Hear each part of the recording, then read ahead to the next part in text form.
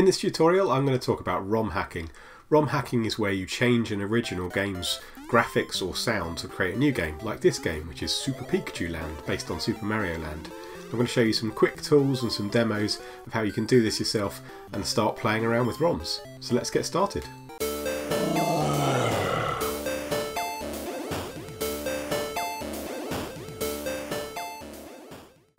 So to get started on your ROM hacking journey, all you've got to do is go to this link on ROM hacking and download the utility YYCHR. If you download that and unzip the zip file, you should end up with something like this. And if you just launch YYCHR, you'll end up with this program here. So what we need to do first is to open up a Game Boy game. I've just got Super Mario Land in here. I can't link to that. You can have to go and find that yourself or dump it from your own uh, game cartridge. And if you just go File, Open, Super Mario Land. Now it will open up and look completely garbage here. You're going to have to change a few things for Game Boy. So if you go to this graphics format, change that to be 2BPP GB, uh, and you will see it's still garbage. But actually now if we scroll down, you'll see what starts to look like the Mario sprites from a different from different games. I've just managed to move that by scrolling. So if we want to find Mario character, there he is. Now, at the moment it's putting me off a little bit because the colours are crazy, so we're just going to change the palette here. So really what we want, if you have a look at something here, I'm just going to change the zoom size as well. So we can see four sprites at a time. Um, what you can see here is the background colour, really we'd expect that to be white and, and some of the other colours different colour. So I'm going to change it over so it just looks more like it really should do on a Game Boy. So as I said, the black should be white. So we click on the black, choose white. That colour should be black. This colour should be a light grey. This colour should be a dark grey. There we are, looks much more right. But you can see it doesn't look quite right. Something's kind of broken here. These these individual 8x8 tiles, and I'm looking at four of them at a time. Uh, sorry, I'm looking at 16 at the time. Don't look quite right, and that's because this program has to kind of guess when it's opened the ROM where to start reading the hexadecimal values that are in there. Uh, and it can get it a bit wrong, so you have to shift sometimes. That's what these buttons here are for shifting um, by one byte at a time until we get it right. So if we click on this, uh, we'll just scroll down so we can see the whole page first. We click on the plus here, keep going, there we are. That now starts to look, if you think about this as a four 8x8 sprites as a meta sprite, then that's starting to look right. So now we've got a palette that looks right and we've got the game look right. We're going to save out the palette so we can use it in future. So do save palette, um, call it whatever you like, and then we can reload that in future. So we want to actually hack this, we want to change some of these sprites a bit. I'm going to show you a really simple example, but you could completely replace these how you like. So we're going to start off by creating a, a clean shaven Mario. So I'm going to choose this colour here, and wherever I find his moustache, I'm going to replace it.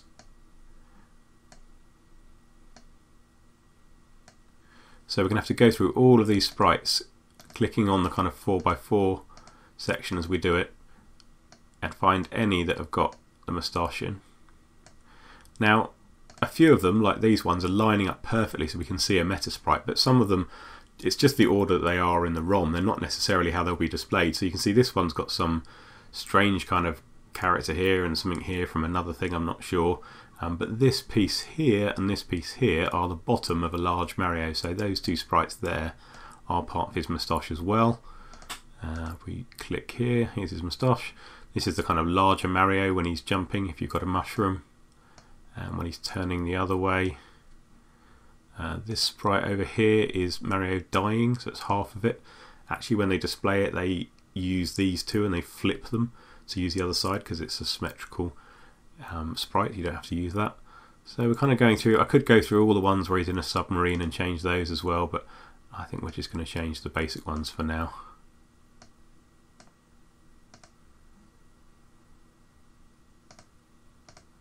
I can see there's one there as well. And one there. And there's something there. So all these different variations are Mario at different sizes, walking different directions, jumping and it's moving the head up a little bit. There are lots of different variations and you can see some of the other sprites here as well. So once you've done your editing, you just do File, Save As, and we're going to save a new ROM file basically. So we're going to call this Mario Land Close Shave.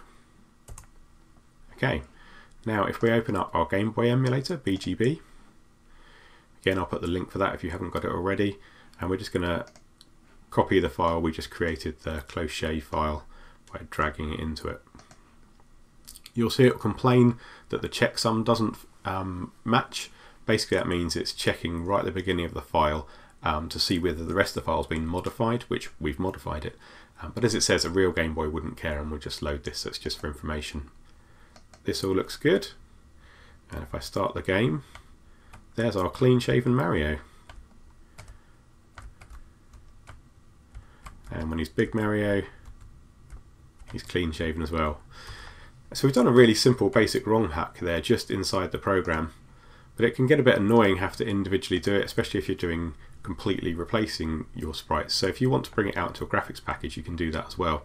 So I'm going to change the zoom so we see all of this bank of sprites here. And I'm going to do edit, copy. And then I'm going to open up a graphics program. This is GIMP. Again, I'll put a link to it. If you're used to using Photoshop, which is more what I'm used to using, then, then please do. Um, but I'm going to use GIMP because everyone can go and download it. So I'm just pasting it in, doing Control and V or edit and paste here.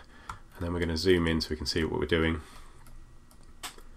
And we're going to make some slightly bigger changes. So I'm going to change the question mark here. So I need to make sure I use exactly the colors that are in here. So we can make sure we do that by picking the eyedropper. So I'm just going to use white and I'm going to wipe out using the pen tool. Need to change the size, make sure it's at one pixel here. We're going to wipe out the question mark there. And I'm going to replace it with a smiley face. So I'm just going to change to black. Maybe a frowny face.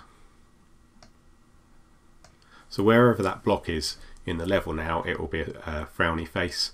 And we'll also change the block when you jump and hit it so that it's also different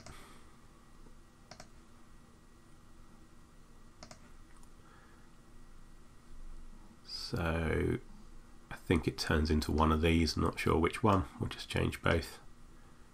But you could experiment yourself.